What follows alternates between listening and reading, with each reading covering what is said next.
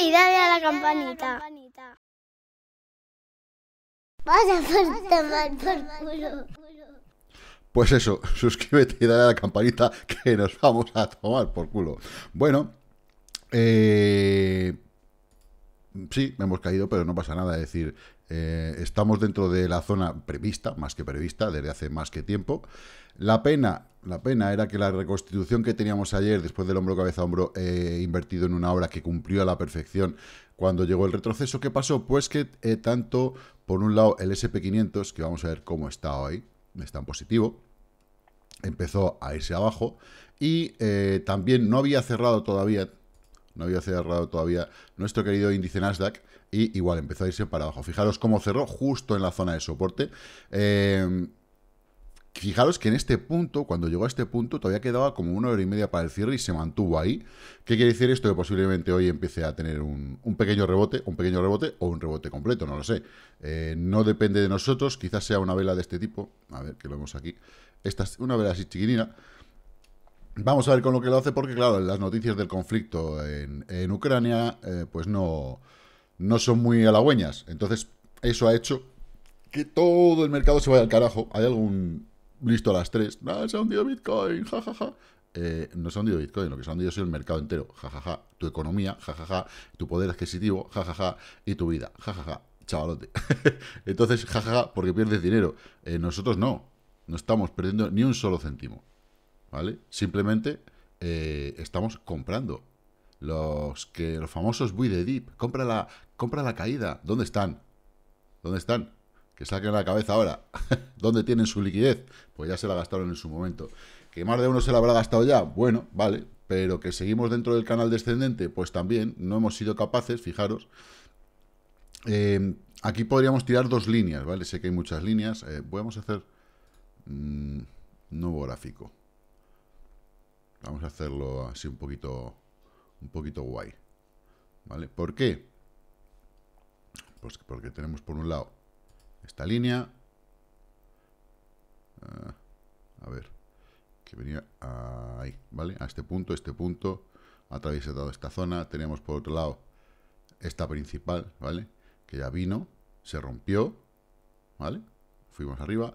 Luego tenemos esta otra, que es en la que estamos ahora. Es decir, es una eh, mega cuña por un lado, ¿vale? Ahora, ¿qué pasa? Que también tenemos, desde este punto, a este punto ese canal paralelo que estábamos viendo antes. Entonces, eh, en teoría, en teoría, ¿qué ha hecho el canal? Fallar arriba, con lo cual se viene abajo. Eso en cuanto a este a estos, a estos puntos, ¿vale? Pero bueno, tampoco es muy exacto porque tenemos esta caída aquí, entonces habría que verlo, habría que mirarlo con pinzas. Pero por otra parte, pero por otra parte, si tenemos nuestra cuña y nuestra cuña rompe hacia arriba, que es lo que suele pasar, bien, y además la podemos tener bastante más acelerada porque aquí tenemos otra zonita interesante. Bueno, pero bueno, todo esto es muy relativo. Eh, en un macro momento eh, de mucha tensión, de mucha tensión geopolítica, y, vamos a ver cómo se soluciona. Yo no creo que las grandes corporaciones vayan a dejar que esto vaya mucho más. El mundo ya no está dirigido por, políticos, está dirigido por empresas. Eh, no van a dejar que mm, todo este popurrí de de tonterías que sacan los unos los otros, que si ahora voy a invadir, que si ahora no invado, que si eh, yo no quiero invadir, simplemente estoy en unas maniobras, que se lo cree, claro, ahorita la canta ahora, eh, lo único que está es provocando, intentando desequilibrar la economía de un bloque y del otro, nada más, nada más. Y parece al final que Rusia se va a convertir en la marioneta de China. mucho imperialismo y mucho rollo, pero eh, da la sensación, ¿vale? A mí me la está dando, desde luego, que van a convertirse en una marioneta eh, de los chinorris.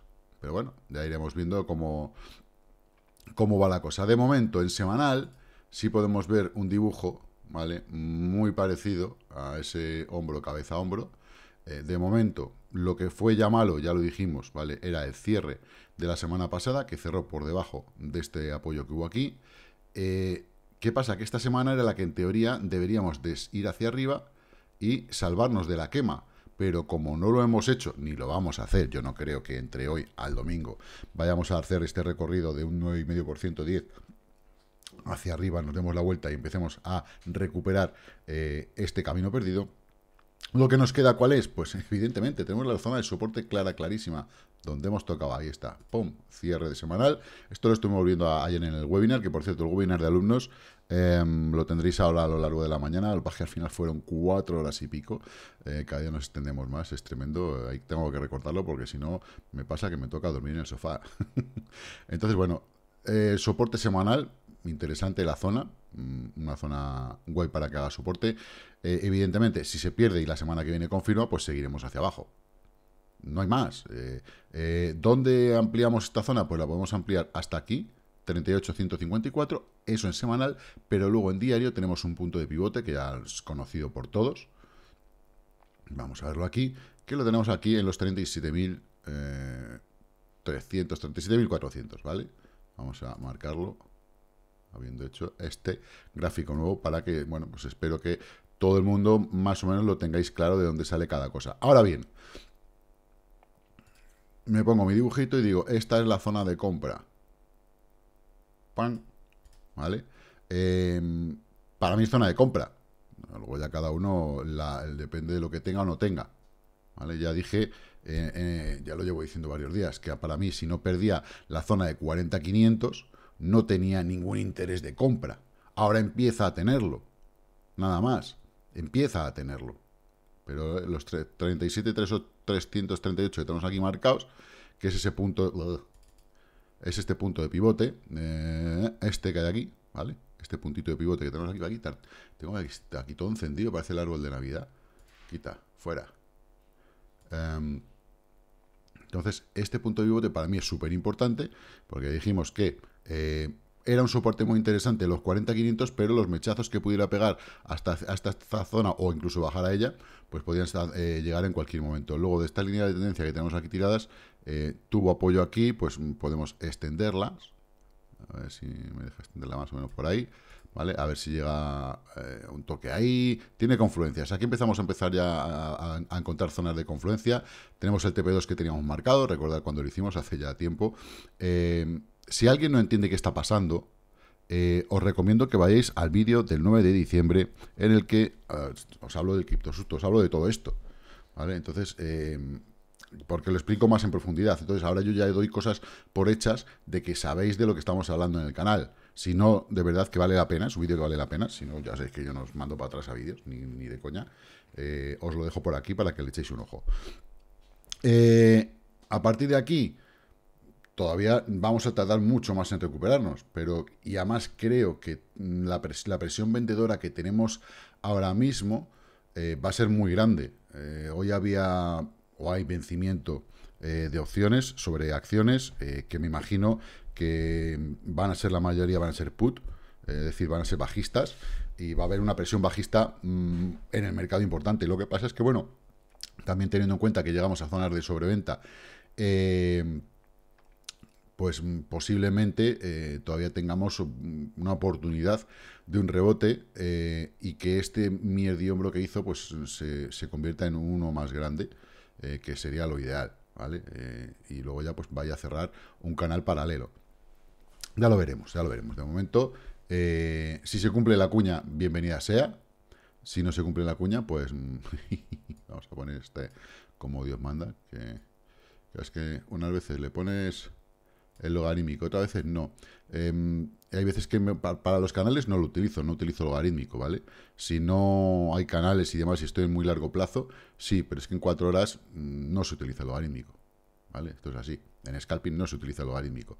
Si yo me voy a venir aquí a Bitcoin y me voy a poner en diario o en semanal, pues sí, le puedo poner el logarítmico, ¿vale? Y fijaros cómo acaba de cambiar. ¿Pero por qué es esto?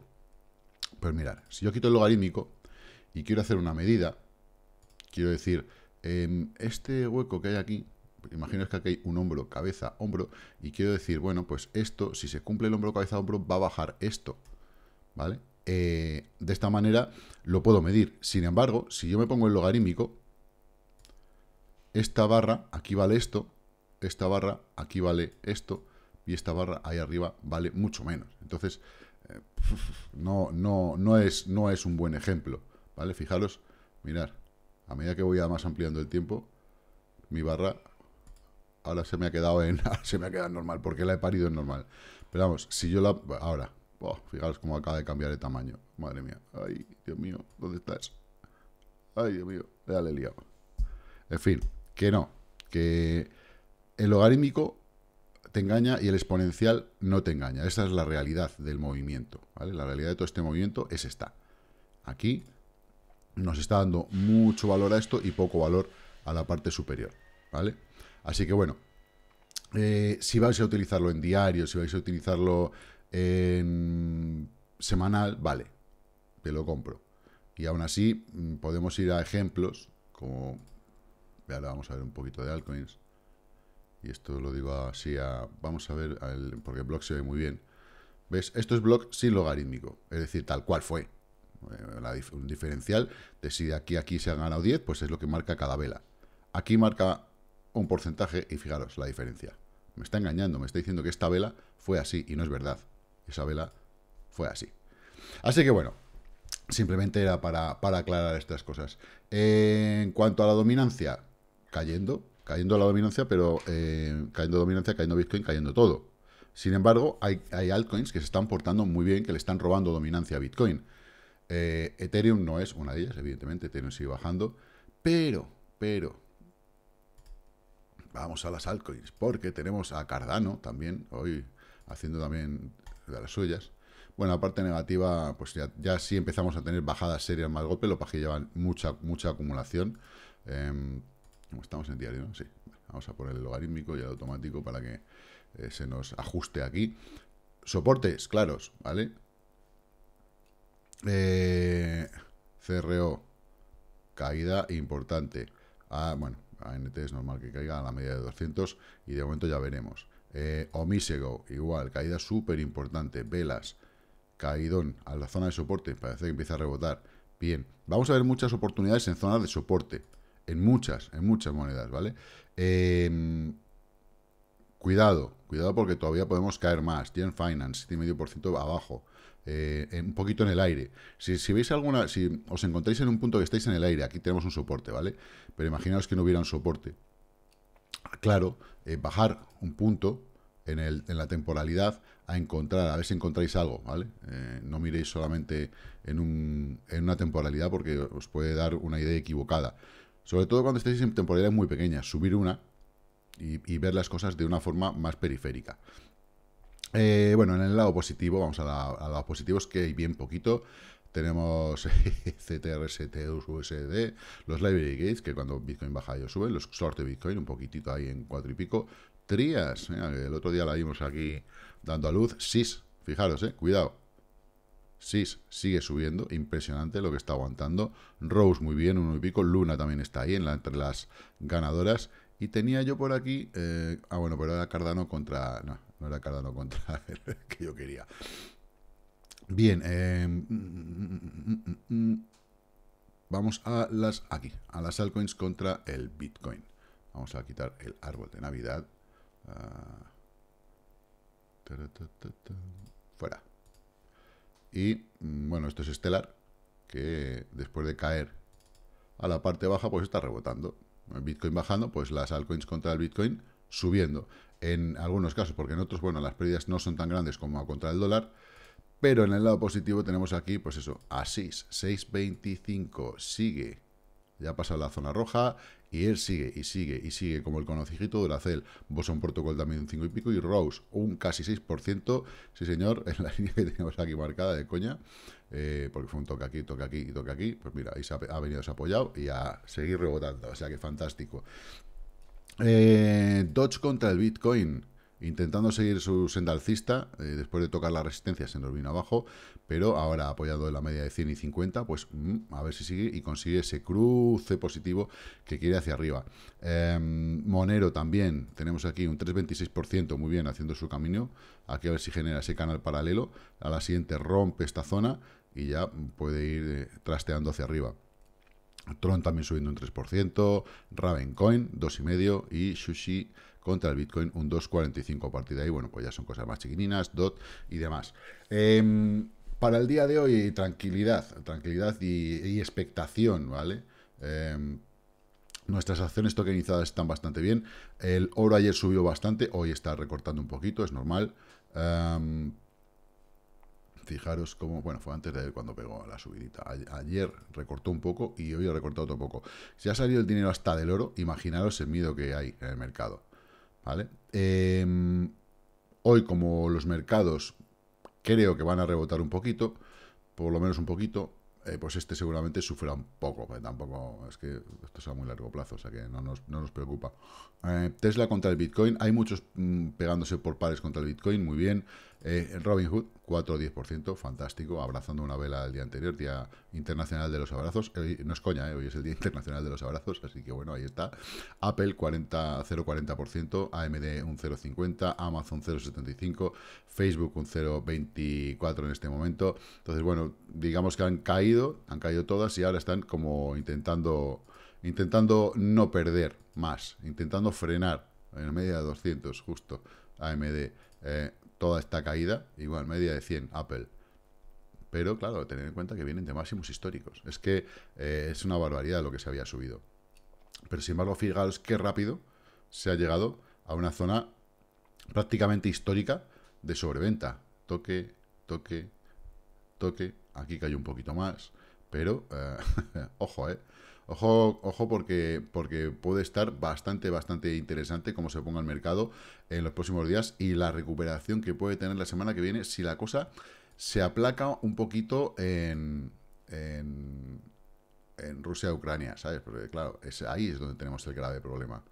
Entonces, bueno, de momento vamos a seguir, pues eso, pues como tenemos que seguir a, la espera. Eh, un día rojo, rojo, rojo de morirte. Una pena la vela de ayer, que es fea de narices, pues ha provocado además que la vela de hoy siga. Y todavía nos queda pues ver a ver si en esta zona vamos a ser capaces de sostenernos. Si no somos capaces de sostenernos y se confirma eh, finalmente este hombro, cabeza y que esta zona sea el hombro derecho, desde la caída aquí, eh, y vamos abajo, Mm, tendremos que tener una vuelta a la clavícula, ¿vale? Es decir, de, este punto a este punto, o si la clavícula es esta, ¿vale? En realidad debería ser aquí. Tendríamos que tener un rebote a esa zona. Cualquier rebote a esa zona personalmente saldré con bastante fuerza del mercado porque podría volver a caer. Eh, luego ya si la pasa, pues ya volveremos a entrar y veremos si hace una más arriba en esta que volveré a salir, etcétera, etcétera. Pero bueno, ya os iré avisando, ya os iré diciendo lo que, lo que voy haciendo y para que cada uno que tome sus propias decisiones, que para eso somos ya mayorcitos todos. Así que bueno, Nada, nada especial, lo único que sí, pues que ha pasado y ya está. Eh, y os dejo el vídeo del día 9 por ahí colgado para que lo tengáis en cuenta.